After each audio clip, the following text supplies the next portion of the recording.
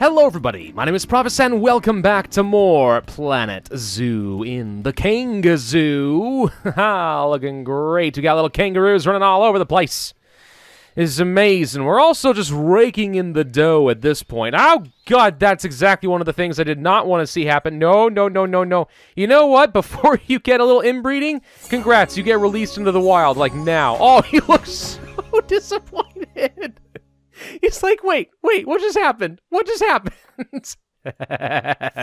Sorry, what was I saying? Oh, right, we're rolling in the dough at this point. Um, that's one of the things about this game is I do find that as long as you're willing to be patient and really make sure you invest in each individual habitat and you don't overextend yourself, uh, the business aspect of the game's usually not that hard. It's not particularly difficult. We seem to be doing just fine and dandy, don't we? Yeah. My gosh, that was so unbelievably funny. Okay, so some vet research is done on more things. We're just going to continue working on some of these little exhibits, though it looks like we are finishing up on at least a few of them. In fact, it looks like the um, looks the Titan beetle and the burrowing cockroach are all that remain. Very well, we shall also make sure that we uh, are really on top of MRSA, since we know that apparently kangaroos can be infected by that. Now, what do we want to do today? Well, I did say that I want to set up a saltwater crocodile exhibit. Now, of course, that requires that there are actually some saltwater crocodiles to be had, which there is indeed one. Okay, I, I, that'll work, I guess. Let's take a quick look-see. You are of least concern. Your natural habitat actually does include Australia, so that counts. Uh, only one to two. Generally, not a lot of crocodiles desired, and you probably don't need that much space either. This honestly could be a pretty small exhibit. The question is if I want it to be a very small exhibit or not. Um, I wouldn't mind it though. What if I set up like a little overhead path over here and then just like a very simple little exhibit down over here for some saltwater crocodiles? You walk upstairs a little bit and you can see into the entire pen. Does that sound pretty good? I think that sounds pretty good. Let's go ahead and build exactly that. Here we go. Something like this should be just fine. Of course, we do need to get our standard gate right along over there. All right, before the crocodile disappears, as it seems to do on occasion, let's go ahead and grab one of those. I do believe, and I could be wrong on this, so I hope I'm not wrong, but I do believe that um, part of the market, at least some of the animal market, is actually uh, related to what's actually happening online as far as like how they're tracking other players and what animals they're selling off and so on. That might be a total lie, but I think it's correct. So sometimes you just have to wait for other players to actually go ahead and sell some animals and stuff. In theory, right? Mm, maybe. Alrighty, so we have a crocodile on the way. I can just about guarantee you that uh, they are going to wish they had a lot of water, and we will, of course, set that down. There's some more research for that Titan Beetle. Um, you know what? Let's go ahead and cancel the Titan Beetle for a moment, and actually, until we place down the crocodile, we can't start researching it. I wish you could start preemptively researching some of these animals and stuff, you know? I think that would be highly appropriate. I want to know as much as I can before I import an animal into my zoo, right?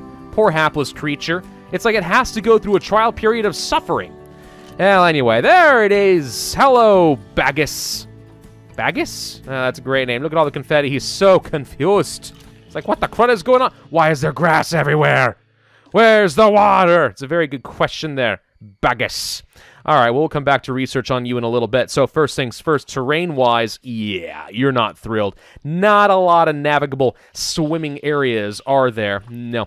Well, Let's see. We're going to start with the terrain here, I think, and let's go ahead and start sculpting some things down. Now, as far as uh, pushing down probably with a good amount of intensity in a pretty large area, larger than that, I would think, we'll go ahead and start drastically reducing this area here. The question to me is, do I leave some space on the edges just in case?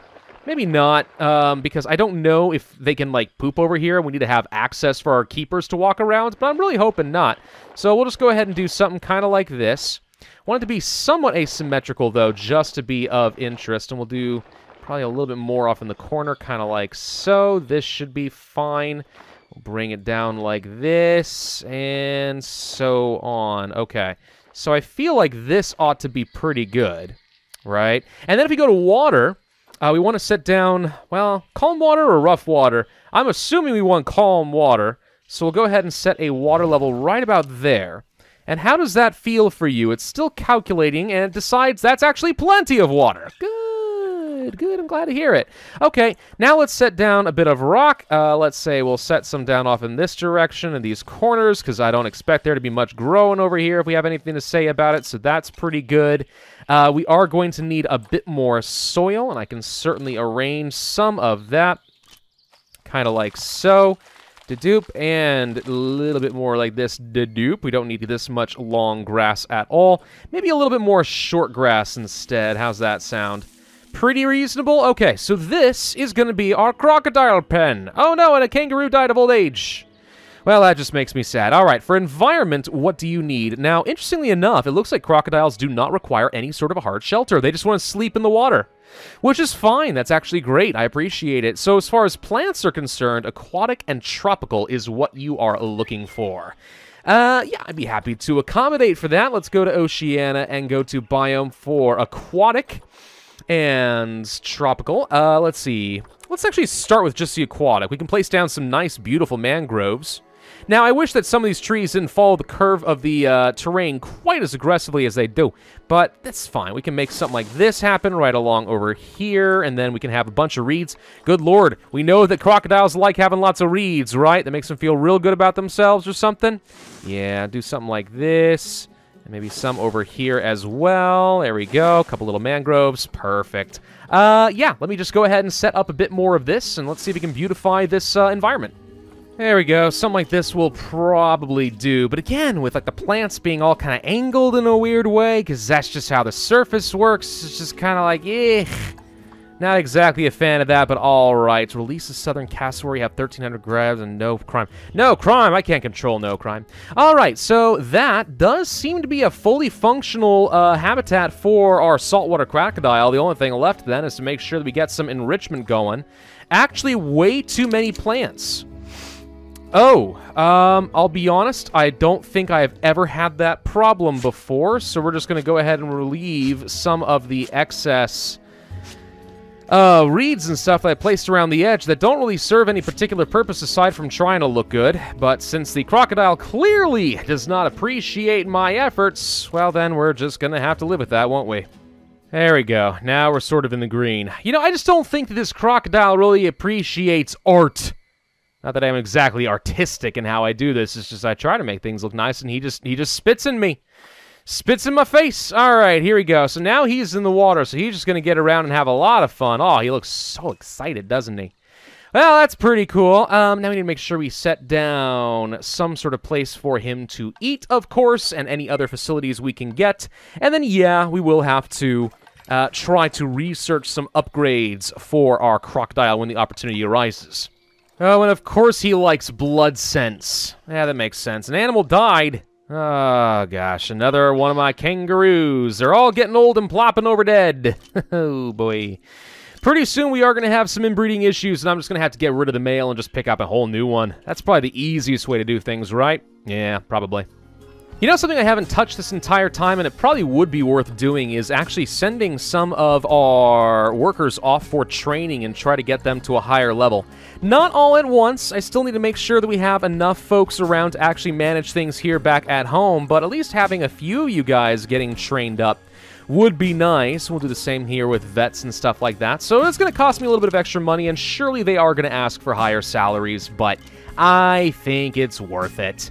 I'm also going to go ahead and start placing down some more shops, just because it looks like it's getting a little overcrowded in these areas, and I like to try and disperse people around a little bit more, free me up for some more exhibits and stuff, right?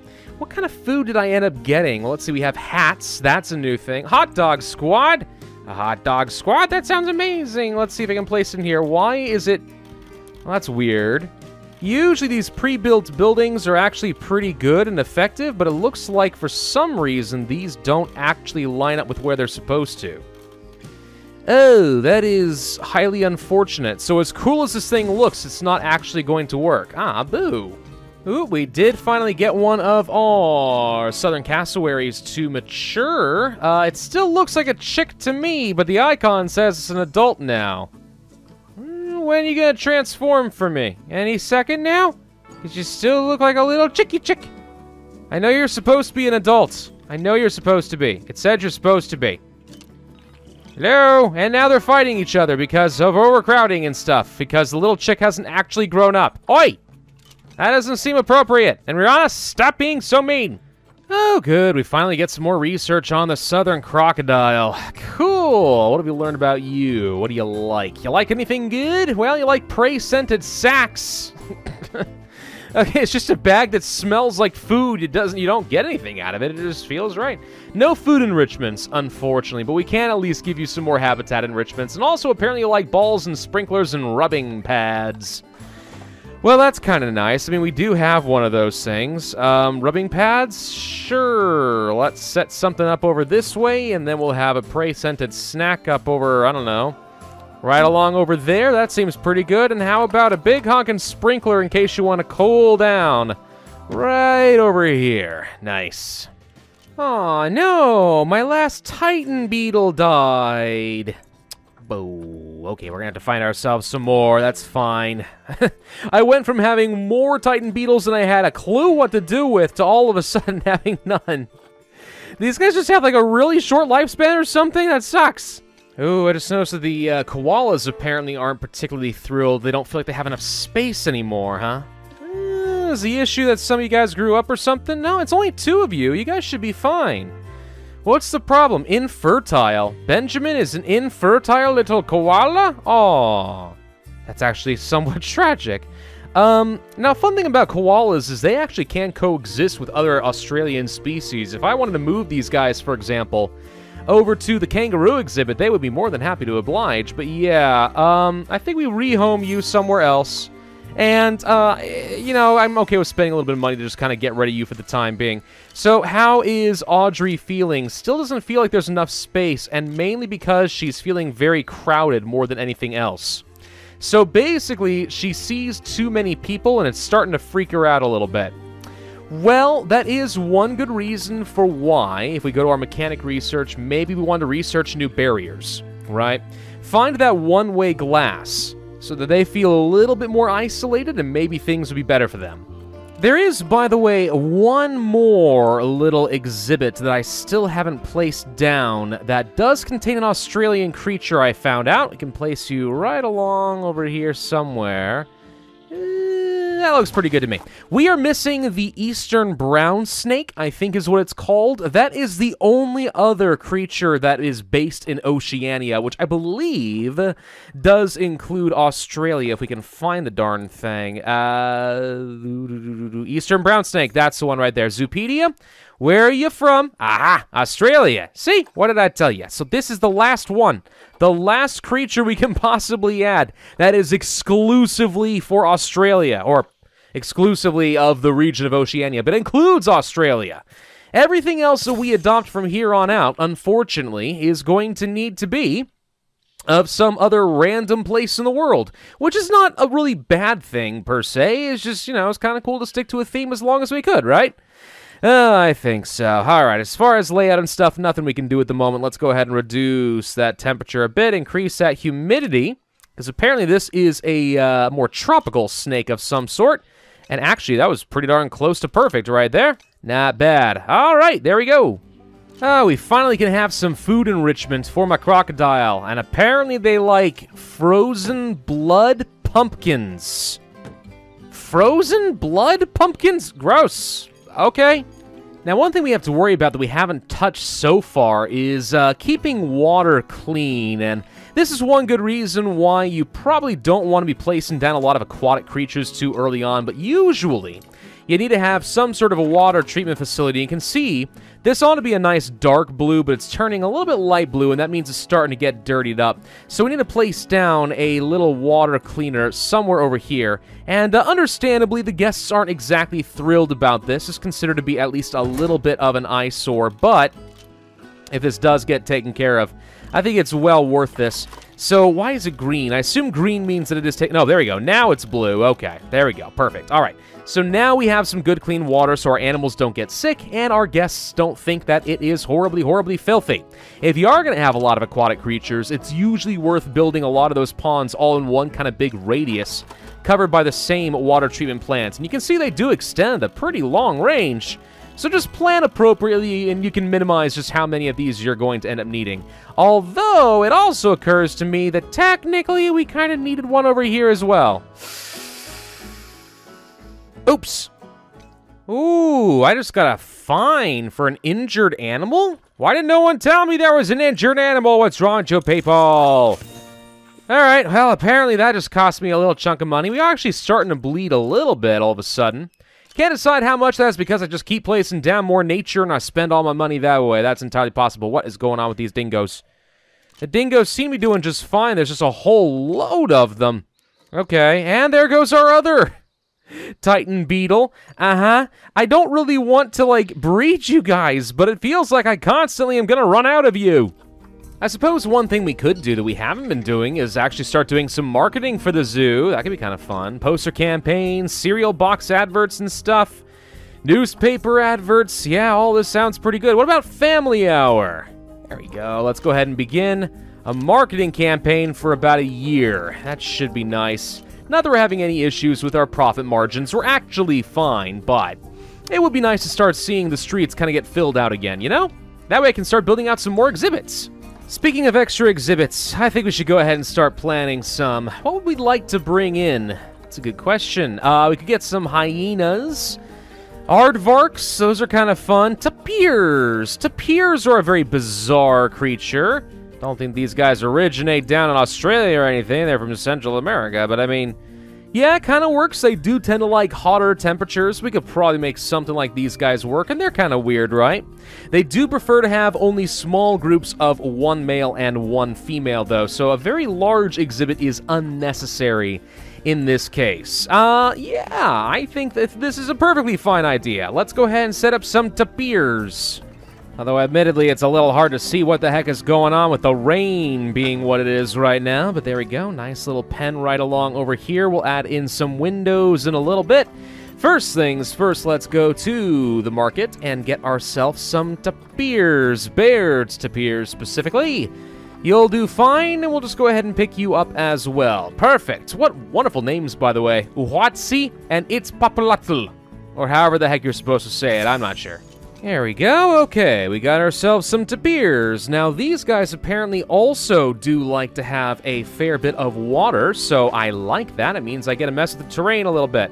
So first things first, we'll add in a little bit of hills along this way, and then we're going to go ahead and drop things down a fair bit right along here. Now, this might be a little bit too high intensity, so we'll go ahead and pull back a little bit. There we go. Okay, nice. Yeah, let's give him a fair bit of room for some swimming. Now, unfortunately, I think we are placing this again kind of farther away from our um, water treatment plants than we're supposed to, so this might actually be slightly messed up. But it's alright. I got plenty of money. We'll be able to take care of it, right? I think so. There we go, and they do seem to prefer mostly soil and simple short grass. One shelter appears to be more than enough for you. No enrichment at the moment, but that's okay. What else do you need? Let's see. Plenty of plants. And you're from South or Central America, which means we need tropical grassland and temperate plants. Okay. Also, apparently I accidentally have a century plant inside the exhibit. I'm not really sure how that happened because they're all outside the exhibit, but okay if you say so. There we go. Something like this should be at least passable for the tapir. So let's take a quick look-see. Are you happy for the most part, but you're really lacking in your enrichment? Which is not a whole lot that I can do with that at the moment, though I am curious if it does tell me what other kind of creatures you can live with. The giant anteater can fit inside this biome pretty nicely. Also, the Colombian white-faced capuchin monkey. Eh, I don't feel like I want to deal with any of them right now, though, so you're just going to live on your own. Let's see, that's all looking pretty good. Oh gosh, we got some more inbreeding. That looks like a very young one, if you don't mind me saying. Um, you know something? I think it might be time to go ahead and release... This is a male. Wow, I don't know where you came from. Time to go ahead and release you into the wild. Go on, get on and get. Alright, there we go. And let's go ahead and place down a couple more small animal exhibits. Nothing too crazy. How about a simple yellow anaconda. You seem like fun. We'll go ahead and place you in there. And maybe also the Mexican red-knee tarantula. Yes, people like spiders, right?